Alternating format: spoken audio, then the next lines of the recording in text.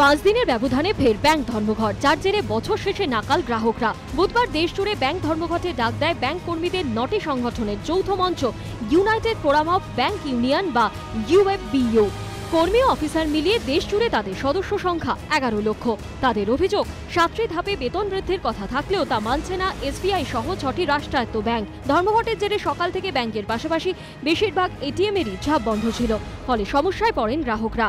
হ্যাঁ অত্যন্ত আমার ভর্তি আছে আমার মা হসপিটালে ঘুরছি চারিদিকে ঘুরছি খুব দরকার টাকা মানে আমরা ঘুরছি এদিক ওদিক পুরো চত্বর যানবাজারে ঘুরে এলাম এখানে ঘুরছি কোনো জায়গায় পাচ্ছি না। উৎসবের মরশুমে ধর্মতলা নিউ মার্কেট চত্বরে মার্কেটিং করতে এসে অনেকে বিপদে পড়েন কারণ সকাল থেকে হাতে গোনা যেসব এটিএম খোলা ছিল দুপুরের মধ্যে সেগুলিতে টাকা শেষ হয়ে যায়। আমরা এখন মার্কেটে চলে এসেছি এখানে।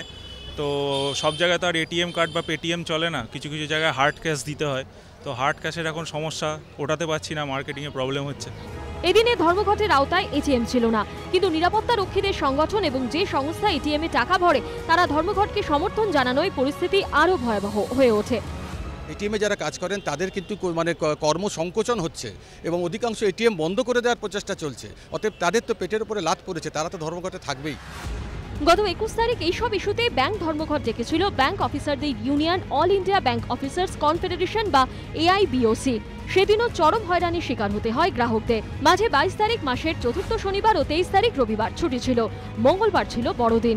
অর্থাৎ ছদিনের মধ্যে ব্যাংক খোলা ছিল শুধু একদিন, চব্বিশে ডিসেম্বর। বেশ কয়েকদিন ভোগান্তির পর বৃহস্পতিবার থেকে স্বাভাবিক হবে ব্যাংকিং পরিষেবা। অরিত্রিক ভট্টাচার্যের রিপোর্ট, এবিপি আনন্দ, কলকাতা।